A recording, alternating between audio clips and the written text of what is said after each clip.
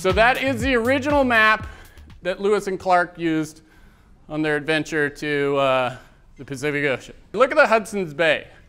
For most of us that are geographically inclined, we know that's in Canada. Uh, this map shows it roughly in Montana. This is very similar to the map of the future economy that every person in here holds in their head. Raise your hand if you know exactly where your industry is going to be in five years. I'm just looking for the BSers in the room. yeah. The maps that we were taught to deal with look a little more like this. The Oregon Trail map, now what's fundamentally different? There's a trail to follow. Yeah? When you went to school, they said, hey, get a good education, get this degree, get the job, and then you'll be taken care of. We had some obvious expectations of the economy. And, and the thing about the medals and the belt buckles and the t-shirts, are they're a lot like this peanut butter is to my dog Kona. See the goofy grin right there? Money, a title, a corner office. These things, when you put them up in some, front of somebody's face, they give you that goofy grin. But I'm here to talk to you about the problem with peanut butter. And the problem with peanut butter is that when you get here, the peanut butter doesn't matter anymore. Oh man, had to do this? I just ate, I was comfortable, I found my spot. the number two most important thing your brain is designed for is saving energy.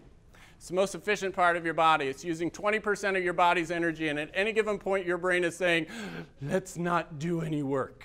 Tell me a little bit about what happened right there. Like, what did you experience? Notice I said, stand here for 10 seconds and just stare, right? Did I, did I say talk? No, but what happened? And why did you talk? Super uncomfortable. Yeah, we look in, and so your brain's number one, most important job above anything, it's, it's really the top 10, and then efficiency comes after that, is to keep you safe.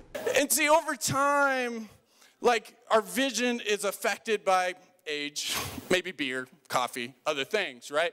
And, and while I didn't realize it, my vision had changed without me noticing. See, I thought it was just the signs, but it was actually me. But purpose works a lot the same way. See, over time, like, we start out thinking, I'm gonna be the best astronaut, cowboy, millionaire ever, only to find out, like, I'm afraid of heights, I don't really like cows, and not very motivated with money. And so all of a sudden, my ability to see purpose becomes a little blurred.